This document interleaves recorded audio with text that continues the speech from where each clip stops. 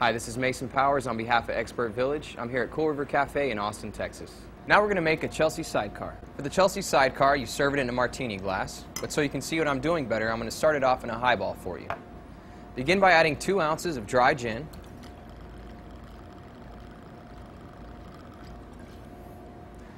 half an ounce of triple sec, I'm using Cointreau, and half an ounce of freshly squeezed lemon juice. Now take all the contents of this, pour it into your shaker tin, top it off, shake, strain,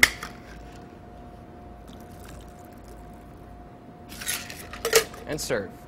And that's a Chelsea sidecar.